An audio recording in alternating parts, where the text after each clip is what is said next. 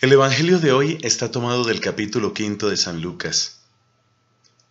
Quizás el título por el que es más conocido este pasaje es por el de la pesca milagrosa. Ya sabemos lo que ha sucedido.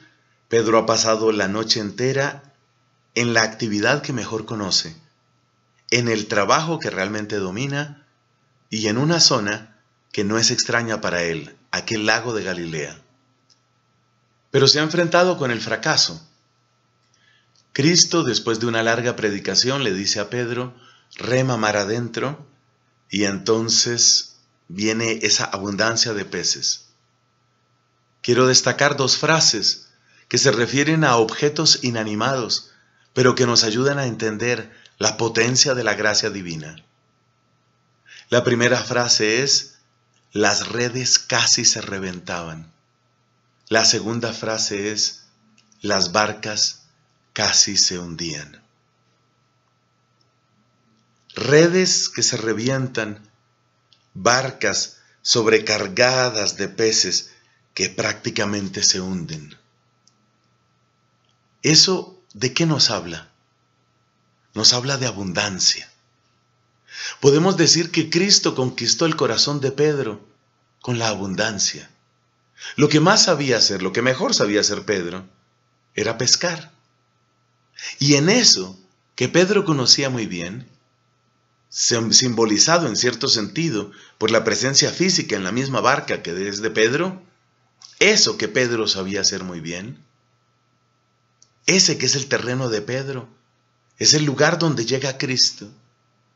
Y es el lugar donde Cristo le otorga una abundancia como él no la ha visto nunca las redes a punto de reventarse, las barcas a punto de hundirse, reflejan lo que le está sucediendo al corazón de Pedro.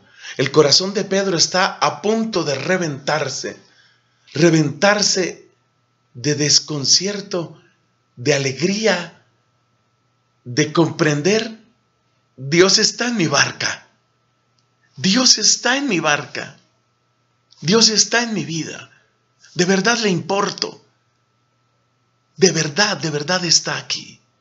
Eso cautiva el corazón de Pedro. Eso hace que el corazón de Pedro esté a punto de estallar. Y luego, la barca está a punto de hundirse, lo cual también tiene su sentido.